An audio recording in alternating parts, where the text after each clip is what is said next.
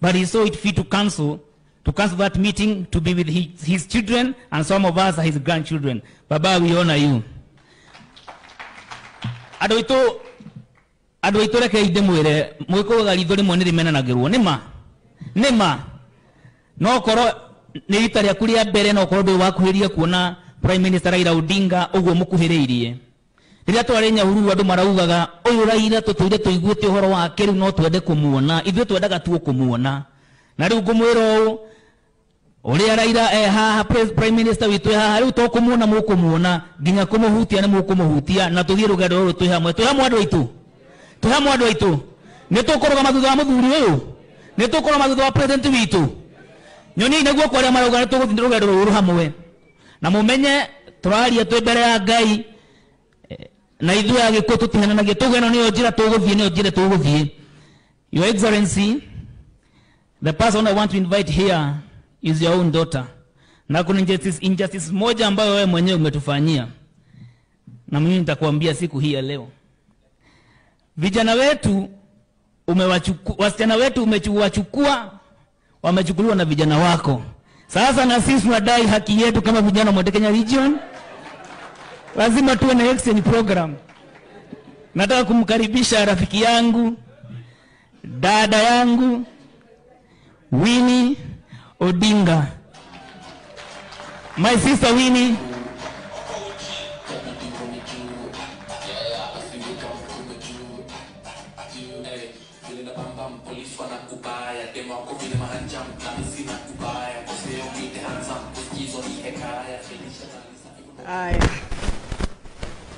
you very much, Ngugi. You know, I met Ngugi uh, last year, a year ago, and I met him in Bondo, in Bondo town. So I know people have been asking, how did Ngugi become a senator all of a sudden? You have to come to Bondo. um, Dad, I know you don't like protocols, so today I'll just call you Baba. My name is Winnie Imgada Koth Juma Neema Odinga, but you can call me Kazi. Or in Kijaluo they call me Chogo, which is Kitinda Mimba. Uh, baba, nimesikia watu wakisema ati hawezi bonga Sheng. uh, that we've been treating in Sheng na baba hawezi bonga Sheng. But hii ni msee wa Kanairo, hii ni msee wa Nairobi yeah? wale wengine ni wa kukamu yeah? Ha? Hakukuja hapa na gari ya matanga ama, ama barua ya chief yeah?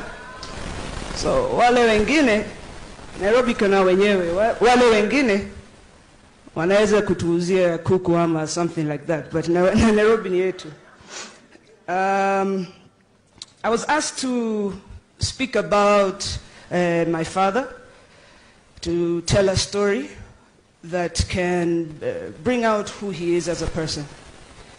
So when I was thinking about it, I was wondering, what story could I really talk about? And uh, I tried to remember the first, the first memory I have of my father, which I'm going to tell you about today. Um, you know, in our house, we're two sets of siblings. And uh, my siblings have their own story, which is a very deep and sad story. Um, so I will not speak about it today because it's not my story to tell. Um, I remember when I was younger, he was always working.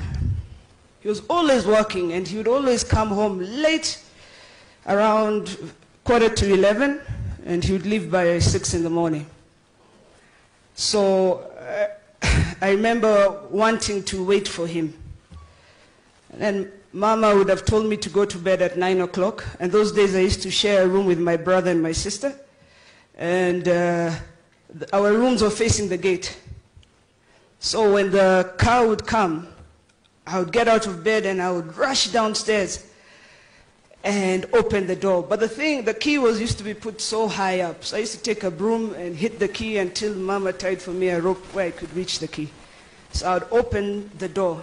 And when you open the door, I would see him there with a briefcase, his, his newspapers, and a big phone.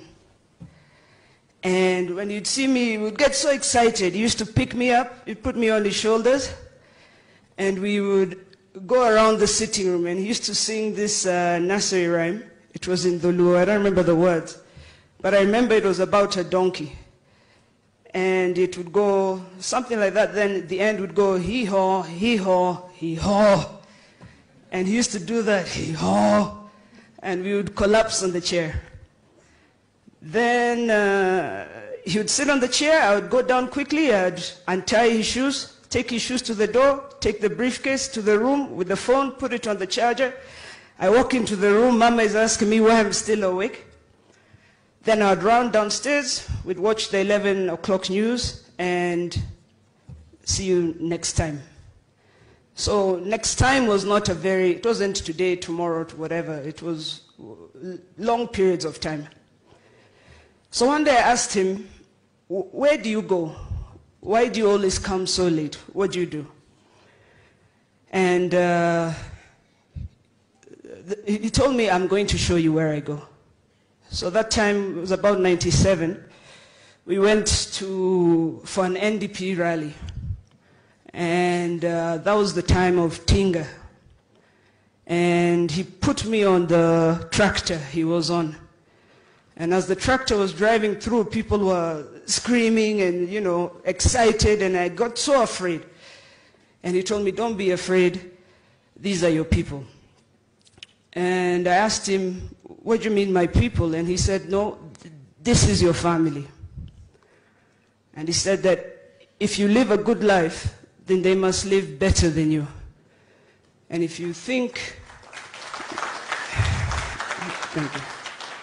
If you think you deserve the best, then they deserve better. And if you think, if you walk around thinking you deserve the world, then you must give them the universe. And uh, that, that, that story really has always stuck with me.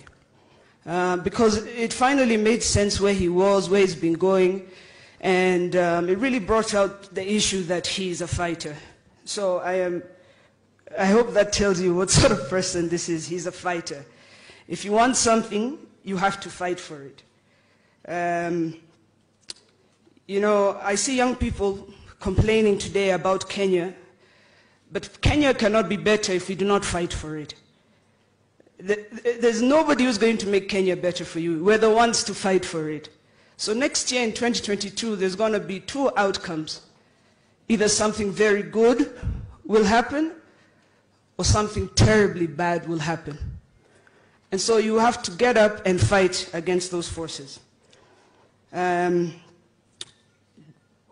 in, life, when we talk about things, there's nobody who's going to give anything to you. Okay? Even if somebody comes to the church and gives you 10 million, that doesn't make you a millionaire. Right? We have to get up and we have to fight for it. There are things we want. We want jobs. Baba tunataka wera. We want jobs. Real jobs. Sustainable jobs.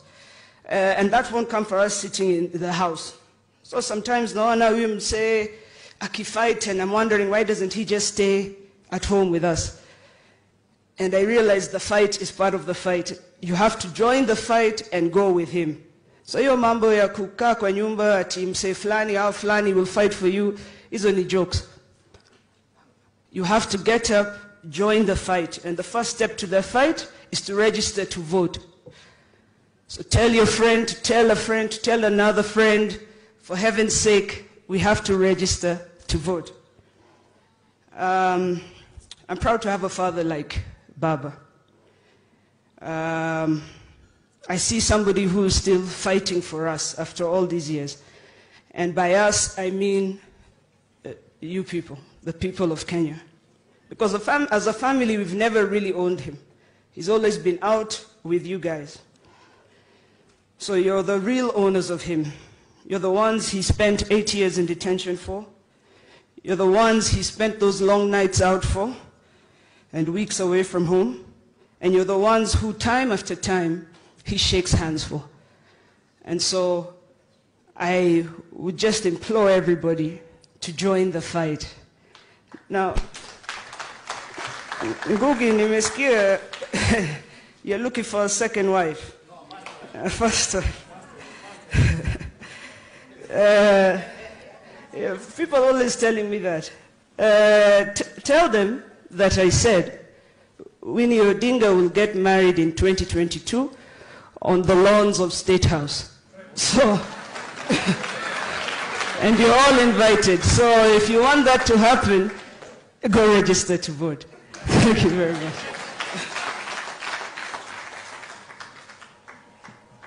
Thank you, my, thank you, my sister. By the powers, oh.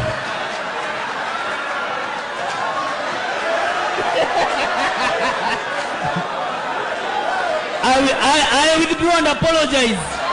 I withdraw and apologize. Now, it's okay, it's okay, DJ. Winnie, by the powers bestowed upon me, I now declare you out of market. Asante sana. Uh, I would be inviting the governor. I'll be inviting you shortly kwa sababu you have taught me one thing to be loyal. There are people who have been loyal to, the, to his uh, excellence the prime minister because they wanted something or maybe because they wanted to be re-elected. But even after serving your second term you're still loyal to him. And this is what we need even in our generation. Without much ado please come on stage. Ongelesha vijana wako. Na tuwekewe ile, ile wimbo gavana anapenda